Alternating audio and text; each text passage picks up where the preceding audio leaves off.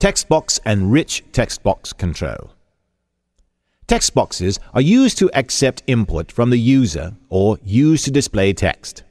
By default, we can enter up to 2048 characters in a text box, but if the multi-line property is set to true, we can enter up to 32 kilobytes of text. Now let's discuss some of the notable properties of text box control.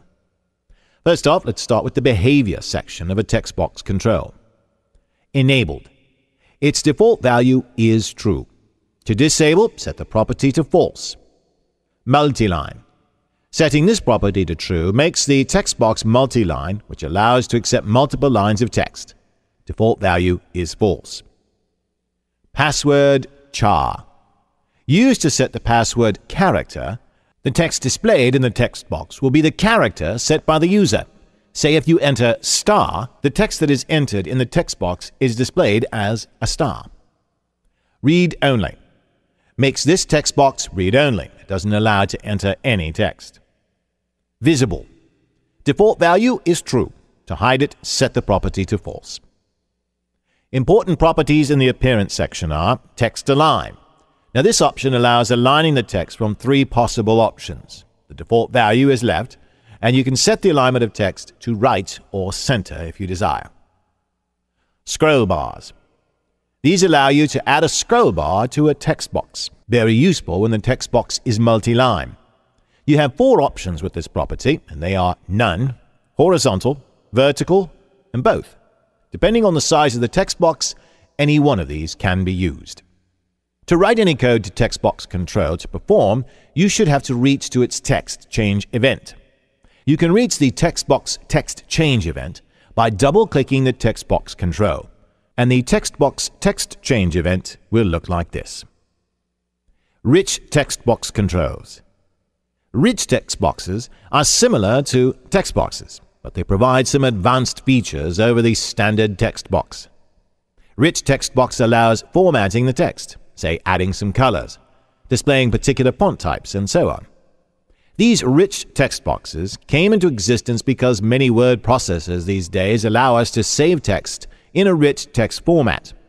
With rich text boxes, we can also create our own word processors. We have two options when accessing text in a rich text box. Text, which holds text in normal text format, and RTF, which holds text in a rich text format. Now, let's work with a sample application including all these three controls, namely button, text box, and rich text box controls. The scenario here is we click the first button control. The text box should display a text message saying, Welcome to text boxes. As we click the second text box, the text in the rich text box should be converted to bold and italic. For that, create a new Windows application and name it as Sample. In the form design page, just drag and drop a text box, a rich text box control, and two button controls. And then set the name property of the first button control to Click Me, and set the name property of the second button control as Edit. Arrange all the controls so that the form should look like this. Now, double-click the first button control, which takes us into its click event.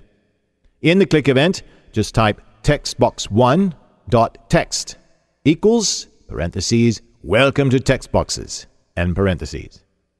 This one-line command will display a text message in the text box. Now again, double-click the second button control in its click event. Paste this line of code. This code will search for text that we mentioned in code and set it to be displayed as bold or italic based on what the text is searched for. Finally, press F5 to run the application. As we click the first button control, the text box will display the message Welcome to text boxes. In the rich text type, our message is We are learning rich text boxes.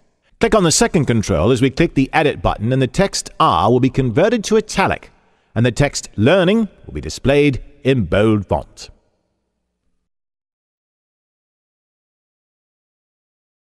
Checkbox and radio button control. Checkbox control. A checkbox, which consists of a small square and a caption set with the text property, presents the user with a yes-no choice. The checked property of a checkbox has the value false when the square is empty and true when the square is checked. At runtime, the user clicks on the square or its accompanying caption to toggle between the unchecked and checked states. Some of the notable properties of the checkbox are appearance. Default value is normal. Set the value to button if you want the checkbox to be displayed as a button. Background image. Used to set a background image for the checkbox. Check align. Used to set the alignment for the checkbox from a predefined list. Checked. Default value is false. Set it to true if you want the checkbox to be displayed as checked. Check state. Default value is unchecked. Set it to true if you want a check to appear. When set to indeterminate, it displays a check in gray background. Flat style. Default value is standard. Select the value from a predefined list to set the style of the checkbox. An important property in the Behavior section of the Properties window is the three states property, which is set to false by default. Set it to true to specify if the checkbox can allow three check states rather than just two. Radio button control. Radio buttons are used to give the user a single choice from several options. Radio buttons are similar to checkboxes, but radio buttons are displayed as rounded instead of boxed as with a checkbox. Now, like checkboxes, radio buttons are used to select and deselect options, but they allow us to choose from mutually exclusive options. Let's work with a sample application explaining both checkbox and radio button controls. Create a new Visual Basic Windows application and name it Testing Controls. Drag and drop a checkbox control, two text boxes, two radio button controls, and a button control to the form. Arrange all the controls so that your form should look like this. Double-click the checkbox control and paste this code in its click event. Now then, set the property of the two radio buttons to Jane and Janet respectively, and also set its name property to RAD Candidate 1 and 2 respectively. Now double-click the button control and paste this code in its click event. This code will show the candidate that we voted for in this text box as we click the button control. Now then, run the application by pressing F5. As we click the checkbox control, the text box will display a message that checkbox checked. Similarly, as we remove the checkbox, a message saying checkbox unchecked will be displayed. Coming into the radio button section, as we click the first radio button and click the vote button, a message will be displayed in the text box control saying, You voted for Jane. The respective action will take place as we click the second candidate. Combo Box Control A combo box is best thought of as a text box with a helping list box attached. With an ordinary text box, the user must type information into the box. With a combo box, the user has the option of either typing in information or just selecting the appropriate piece of information from a list. The information is then displayed at the top of the combo box. There are three types of combo boxes, namely simple, drop down, and drop down list, and they are displayed in the drop down style property. With a simple combo box, the list is always visible. With a drop-down combo box, the list drops down when the user clicks on the arrow, and then disappears after selection is made.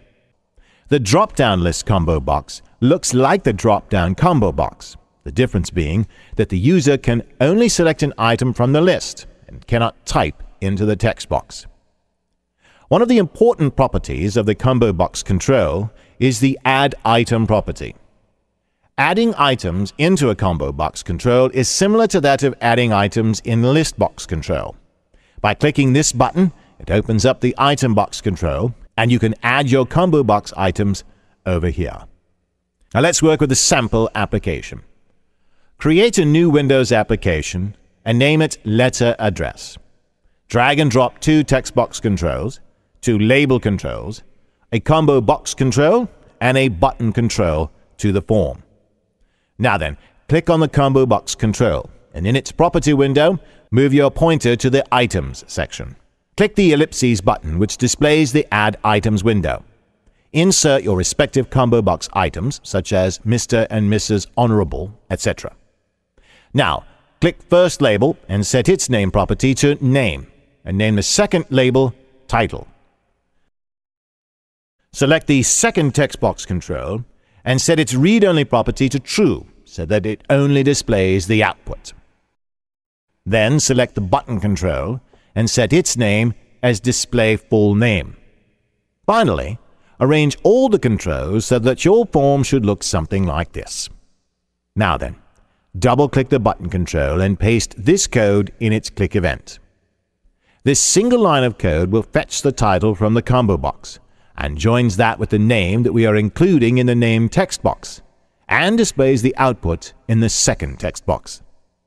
Run the application by pressing F5. You have to enter the name in this text box and select a title from the combo box. After giving the input, just click on the Display Full Name button. Both title and given name will be combined, and the output will be like this. Panel, Group Box, and Picture Box controls. Panel. Panels are containers which contain other controls. Panels are similar to group boxes, but the difference is panels cannot display captions, whereas group boxes can. Some notable properties of panel controls are border style property. The default value of the border style property is set to none. You can select from the predefined list to change a panel's border style. Auto scroll property. Default value is set to false. Set it to true if you want a scroll bar with the panel. Group box control. Group boxes are passive objects used to group related sets of controls for visual effect. You rarely write event procedures for group boxes. The preceding group box has a group of three text boxes attached to it. When you move the group box, the attached controls follow as a unit. If you hide the group box, the attached controls will be hidden as well. To attach a control to a group box, just create the control any way you like and drag it inside the group box. Picture Box Control The Picture Box control is designed to hold drawings created with graphics commands or pictures stored in graphics files, such as .bmp files created with Windows Paint, ICO files of icons that come with Visual Basic, or GIF and JPEG images used on the World Wide Web. Notable properties of the picture box control are image property, which allows adding the image to be displayed on the picture box. To insert an image, click on this button. Doing so opens up the Image Open dialog box. In that window, locate your respective picture and click Open. Doing that displays the respective image. Now then, let's work a sample program and combine all three of these controls. Create a new Windows application and name it Testing Picture. Drag and drop Group Box Control, a Picture Box Control, Panel Box Control, and three button controls. Arrange all the controls so that your form should look like this. Set the text property of Group Box Control to Picture Box. Similarly, name the three button controls Sports, Weather, and Finance. Then place the three button controls inside the panel so that they cannot be moved anywhere. Now double click the first button control and paste this code in its click event. Do the same thing for the other two button controls. This line of code will fetch the image from the local location and display that to the picture box. Now run the application by pressing F5. As we click the Sports button, the image related to the Sports department will be displayed. Likewise, the image will be changed for the other two sections, like this.